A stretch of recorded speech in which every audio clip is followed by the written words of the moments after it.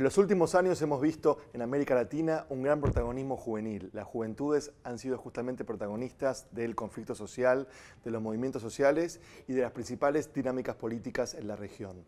Por eso es que hicimos junto a varios autores una colección de 11 libros sobre diversas temáticas, diversas dimensiones a donde las juventudes despliegan hoy sus mundos, sus vidas, sus lenguajes, sus producciones, sus comunicaciones. En este caso, este libro aborda las formas de participación de las juventudes con una mirada histórica, tomando los últimos 30 años y abordando tantos casos de Argentina como también pensando otros casos en la región como Chile, Colombia, Brasil y México, preguntándonos si existe en los últimos años un ciclo de movilizaciones juveniles que pueda hacer reinterpretar los procesos sociales a la luz de una mirada generacional. Es decir, si podemos pensar que ingresando por las perspectivas, por las formas, por las modalidades de participación de las juventudes, podemos comprender procesos y dinámicas políticas mucho más generales. Así que los invito a leer este libro, a compartir esta colección